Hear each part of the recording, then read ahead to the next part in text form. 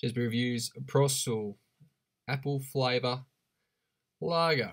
Now, this is a non alcohol lager. You can see on there it's 0 0. It's no alcohol at all.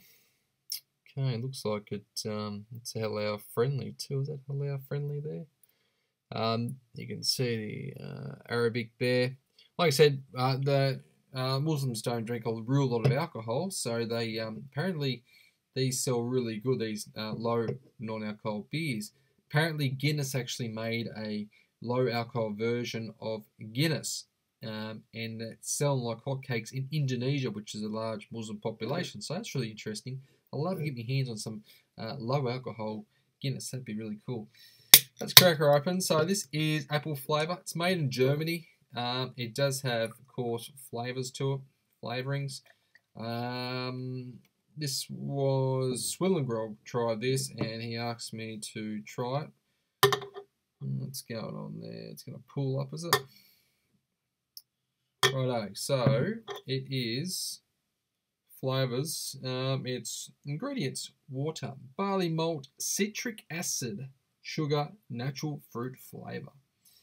Okay, normally uh, having a green apple flavour to a beer means it's bloody uh, something's gone wrong with fermentation. It's the undesirable flavours, but in this, we actually want it. there. Righto, the only apple flavoured beer I ever had was the um, red apple, and that was terrible. Now I think about it, geez, that was so sweet. So let's see how this Prostel, brewed in Germany, 330ml can, by the way. Actually, instead of German flag on there, that's pretty cool. Made in Germany. Okay, the aroma. Oh, well, the colour, light straw appearance, very much like the Germans. Beers. Oh, that's that's a weird smell. Green apple. Green ap apple mix with low alcohol beer. Mmm, it's a different aroma. Let's have a try. Cheers.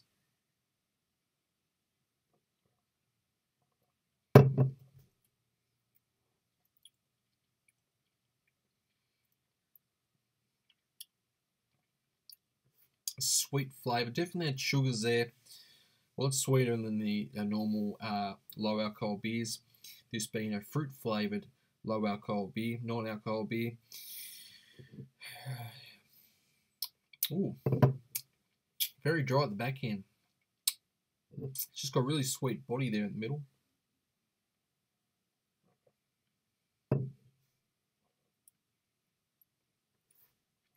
I get that apple flavour, similar to Reds, but not as sweet. It was really sweet, Reds, the alcohol one. This one I am getting kind of like a sweetness and then like a, a green apple flavour. But maybe a little bit of tartness there. Yes, the sourness. It's definitely got that sourness to it, as you would expect. Tart sourness. Very sweet.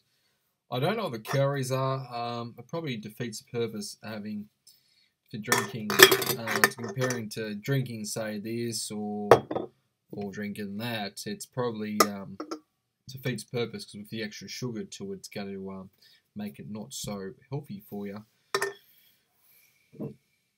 But where this would go well is uh, pregnant women, pregnant women who like um, who can't have a cider or a beer due to pregnancy. Um, this is one for them. They actually do lemon flavour prostel and they do this apple and they've got a raspberry. I do have a raspberry in the fridge. and that will be next up to review. Overall, you know, it's pretty fair. It's pretty much what you expect. It's sweeter than the others, than the normal low alcohol beers. It's got that sweetness, but if you want a bit of sweetness and you want a bit of fruit flavour, hey, it's all right. I'm surprised. An apple flavoured low alcohol beer, non alcohol beer.